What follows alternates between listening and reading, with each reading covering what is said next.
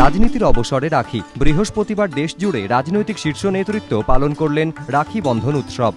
কয়েকদিন আগেই দেশের সর্বোচ্চ সাংবিধানিক পদে বসেছেন প্রণব মুখোপাধ্যায়। রীতি মেনে রাইসিনা হিলসের নয়া বাসিন্দাকে এদিন রাখি পড়ায় বহু ক্ষুদে স্কুল পড়ুয়া। রাষ্ট্রপতির হাতে খুদেরা তুলে দেয় ফুলের তোড়া। সকাল থেকেই রাখি উপলক্ষে ভিড় ছিল দাস জনপথেও।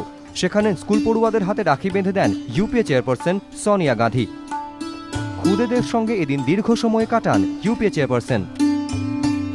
উৎসবের রেশ কলকাতাতেও এদিন সকালে ব্যস্ত মহাকরণের ছবিটা ছিল একটু অন্যরকম।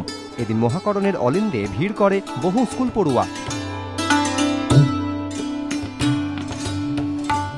এদিন মহাকরণের সামনে পথ চলতি মানুষ এবং বাস চালকদের হাতে রাখি পরিয়ে দেন পরিবহন মন্ত্রী মদন মিত্র। একই সঙ্গে চালকদের কাছে পরিবহন মন্ত্রীর আবেদন, সারা বছর তারা যেন নিরাপদে এবং ভালোভাবে গাড়ি চালান। আঠারো নম্বর ওয়ার্ডে সোনাগাছি এলাকাতে এদিন রাখি বন্ধন উৎসব পালিত হয়। হাজির ছিলেন তৃণমূল সাংসদ সুদীপ বন্দ্যোপাধ্যায়। তার হাতে রাখি পরিয়ে দেন যৌনকর্মীরা।